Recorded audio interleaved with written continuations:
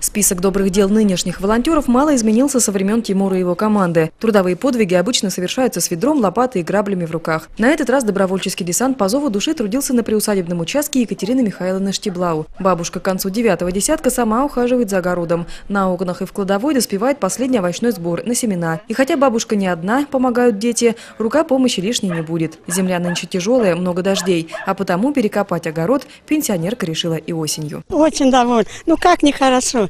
Помогает. Молоденький, да красивенький. А бабушка старенькая. Работа в колхозе, на хлебзаводе, уважение и почет со стороны руководства. Екатерина Михайловна знает, что такое труд. Молодыми помощниками всегда довольна, к работе подходит ответственно, как привыкла сама бабушка. Несмотря на то, что помощь ребят безвозмездная, школьники редко остаются без гостинцев. На работу сильно трудно такой-то и нету. Ну, самое главное, ребята, вот вы приходите к бабушке, дедушке, да, там кто-то благодарит, там, не знаю, чаем поет. Конечно. Бабушки, они все такие. Как вы к этому относитесь, что молодые вот приходят, Ну помогают? как, ну как, ну обязательно хорошо относимся. Одно, ну как, если старенький, ну я еще шевелюсь.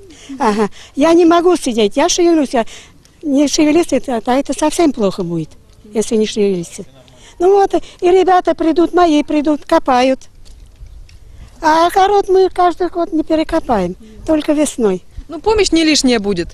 Ну, не лишней будет, конечно. Уже готово. Только сади. У волонтеров 42-й школы это лишь начало их тимуровской работы. У каждого класса, а их в школе 18, несколько адресов, где ждут их помощи. Ребята обязательно навестят всех своих подопечных, учителей, ветеранов, одиноких пенсионеров, с подарками и поздравлениями с Днем пожилого человека и Днем учителя.